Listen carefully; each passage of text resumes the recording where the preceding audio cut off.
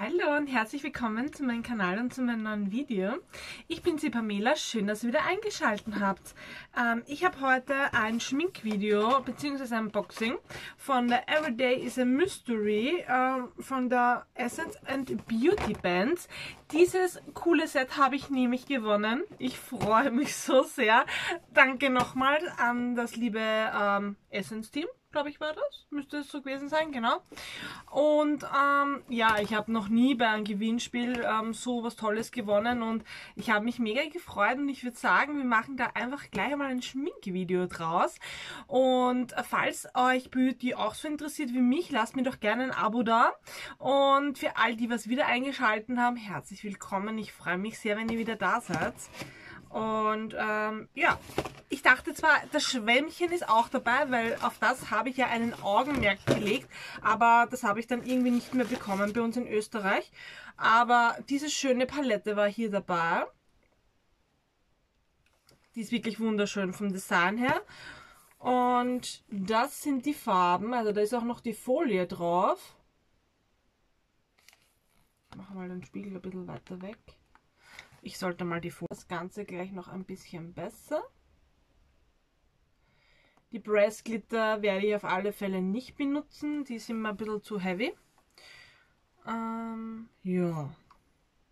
Aber ich dachte mir, wegen meinem Pullover, dachte ich mir, ich werde auf alle Fälle ähm, den Elfie-Ton benutzen und vielleicht einfach den Schimmerton noch benutzen. Da sind noch drei aktivierte ähm, Waterliner dabei, also Eyeliner. Da muss man ein bisschen mit Settingspray draufsprühen und dann kann man den Wing ziehen. Das kann man auch noch machen, das überlege ich mir aber noch. Dann ist ähm, noch dieser schöne Blush Stick drinnen, ein BH Re Reacting Blush Stick. Das kann man sich einfach nur so auftragen oder man geht mit dem Pinsel gleich da ähm, drüber. Und dann, glaube ich, verfärbt sich der rosa weil ich habe eh ein, einige Unboxings gesehen. Und dann haben wir noch diesen wunder wunderschönen Lipgloss, also der gefällt mir richtig, richtig gut. Und ja, dann würde ich sagen, dann legen wir gleich einmal los.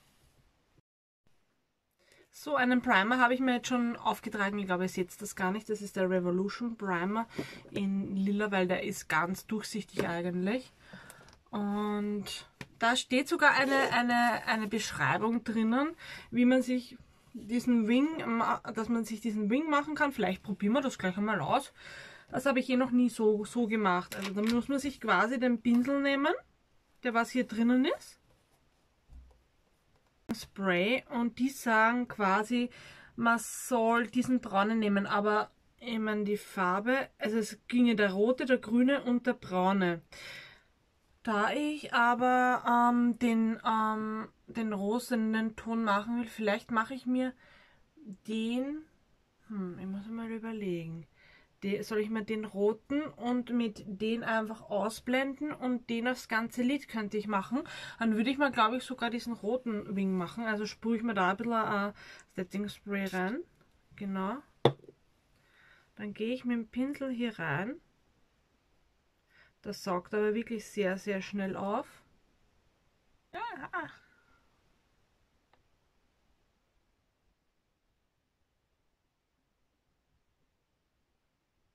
Okay. Sieht man ein bisschen, ne?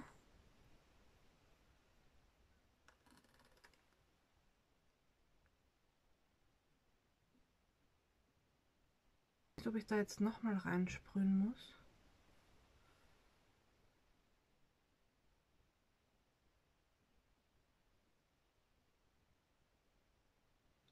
Aber eigentlich sieht man es eh schon ganz gut. Ne? Und jetzt soll man quasi äh, mit einem Blendebindel, denke ich, den soll man nach oben hin ausblenden. Okay. Aber mit einer Spitze, das ist der 26er. Und den würde ich jetzt einfach versuchen mit diesem rosa Zweckspulli ähm, auszublenden. Nach oben hin. Okay.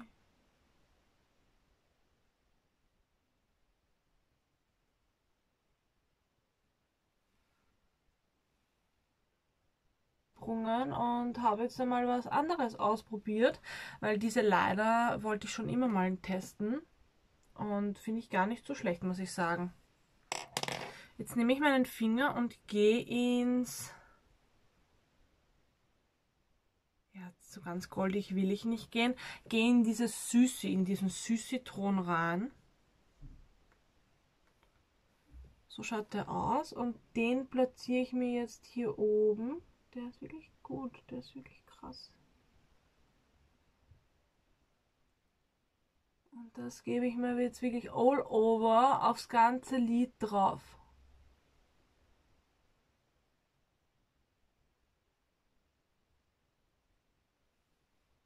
Ja, das kann man schon machen, ne?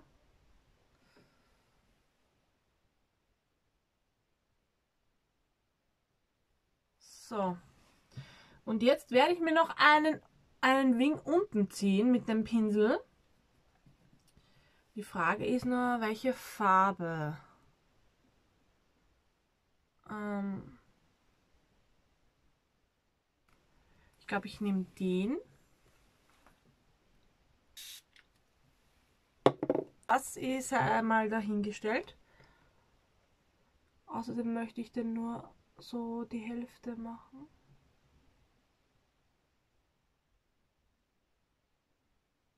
Okay, der funktioniert aber eigentlich ganz gut. Das hätte ich jetzt nicht geglaubt.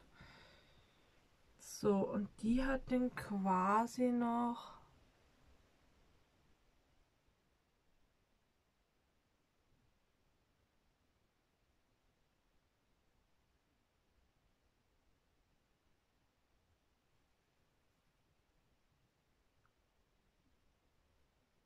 Genau.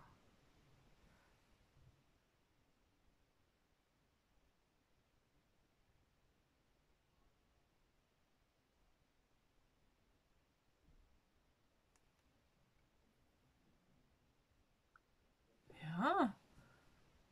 Finde ich schon gar nicht so schlecht. Also ich versuche jetzt hier vorne noch ähm, von dem Liner ein bisschen was hinzupacken.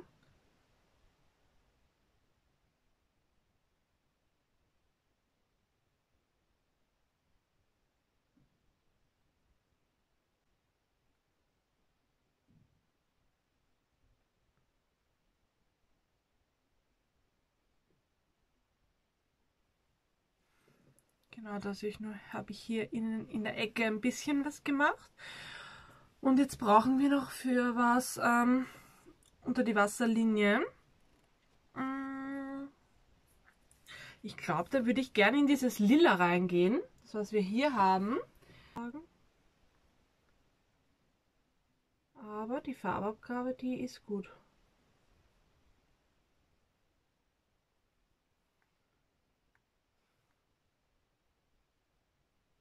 Bisschen ähm, länger hier drauf geht, wo man hier die Farbe aufs Lid bringt, dann kann man sich hier auch noch einen zweiten Wing ziehen, da, da der erste eh ein bisschen in die Höhe geht. Das finde ich schaut auch gar nicht so schlecht aus. Mehr so für den Innenwinkel ähm, hätte ich schon noch gerne irgendwas Schimmeriges gehabt und nicht die gleiche Farbe, was ich am Lid habe. Da habe ich aber eigentlich nur mehr diesen goldenen Ton bleibt mir leider nichts übrig, als diesen Ton zu nehmen, weil sonst leider keine, kein Glitzerton mehr in der Palette drinnen ist.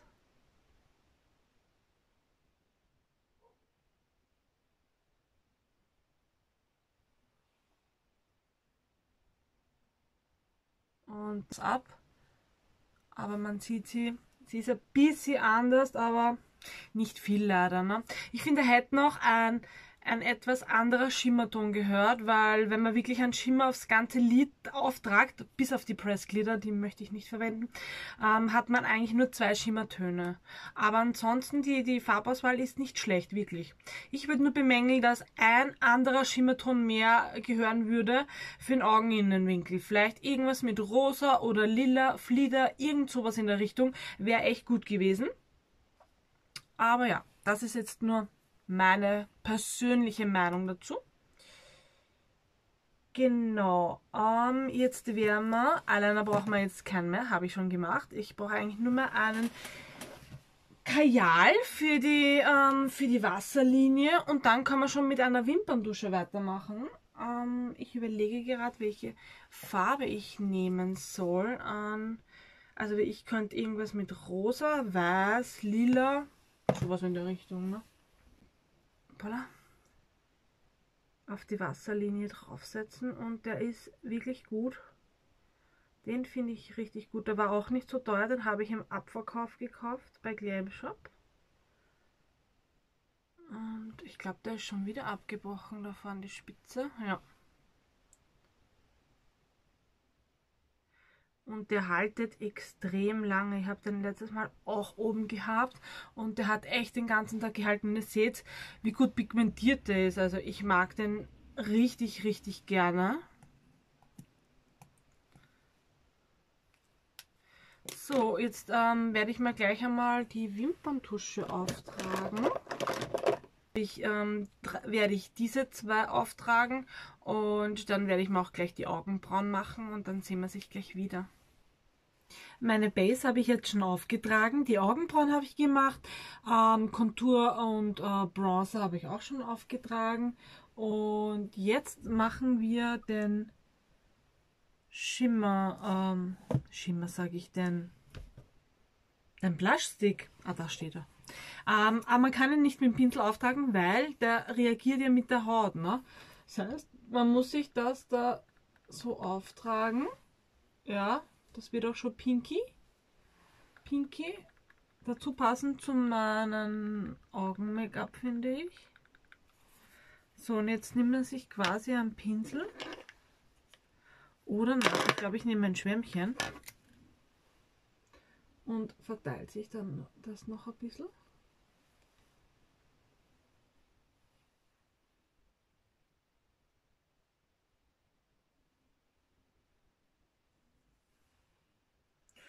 Ja, das schaut äh, so richtig ähm,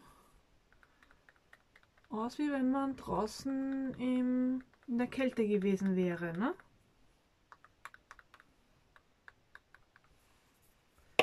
Da braucht man gar nicht mehr viel machen. Nur ein bisschen verteilen.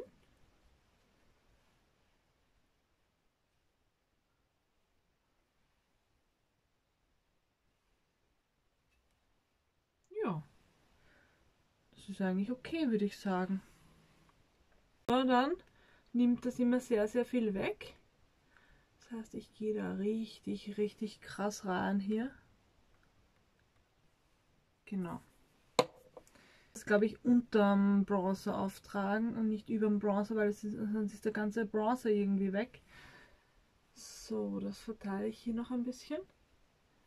Schaut jetzt natürlich schon sehr, sehr pinky aus. Ich glaube, ihr seht es jetzt auch schon langsam mit der Kamera, weil die Kamera kann es irgendwie gar nicht einfangen, das Pinkige. Kommt es mir so vor, aber es ist noch okay. Und dann muss man aber immer auch den ähm, Stick danach ein bisschen reinigen, finde ich. Sonst hat man da immer Make-up-Reste drauf. Das ist sicher gut für Bakterien und so weiter. Ähm, ja, jetzt machen wir Highlighter, ne? Machen wir einfach weiter. Und ich habe so einen Schirm und gehe in das Chilling rein.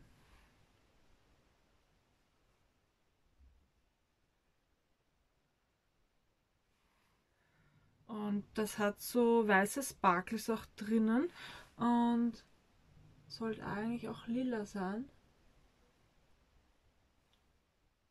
Ja, oh ja, ist schon leicht lila alle Fälle.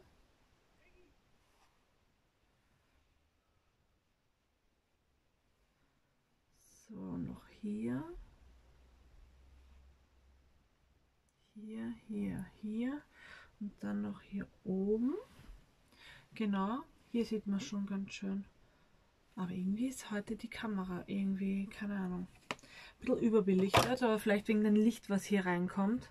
Doch jetzt ein anderes Licht im Winter wie im Sommer. Ja, jetzt trage ich mir noch den Puder auf, das Super Matt Puder. Obwohl ich finde das gar nicht so super matt. Da gehe ich mit meinem großen Puderpinsel rein und verbinde hier einfach die Texturen.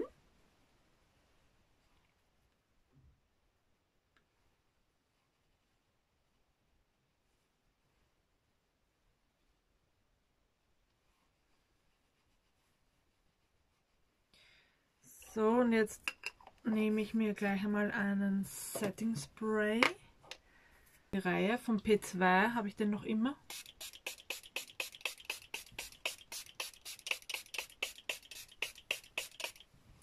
Da kommt relativ viel raus, aber wenn man es weit genug weghält, dann funktioniert das schon. Dann noch ein bisschen fixieren, auf alle Fälle.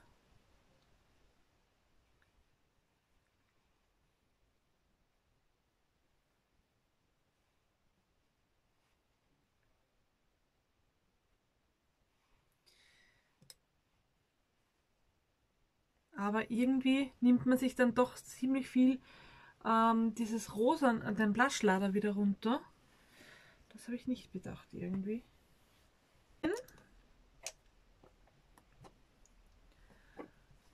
Weil das geht sonst nicht. Also es ist schon ein bisschen anders, wenn man mit Cremeprodukte arbeitet.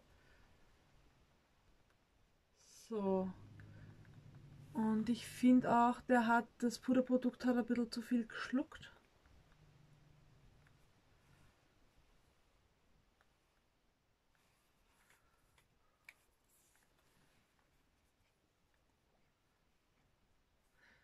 Aber vielleicht geht das ja doch, dass man das mit einem Pinsel auch auftragt. Ich weiß nicht genau, das müsste ich beim nächsten Mal noch versuchen.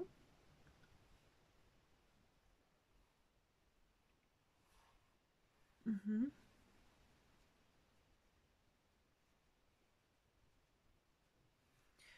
So, und jetzt gehe ich nochmal in den Highlighter rein, weil da sieht man fast gar nichts mehr alle Fälle.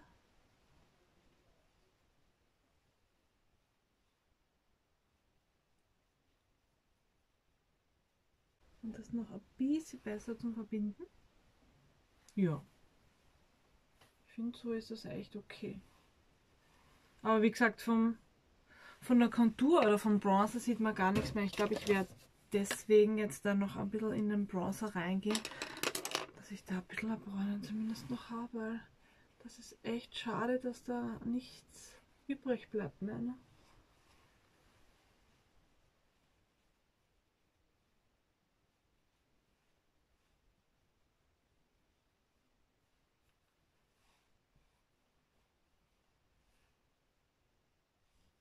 Und zwar das Lipgloss, da bin ich schon mal sehr, sehr gespannt.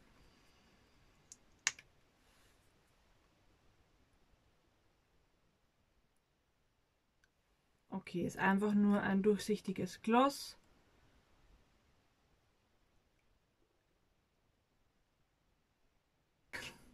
Zumindest ein bisschen eine Farbe hat, aber das hat überhaupt keine Farbe. Aber das kann man dann gut äh, benutzen, wenn man vorher einen Lippenstift auftragt. Und aber das kribbelt ein bisschen.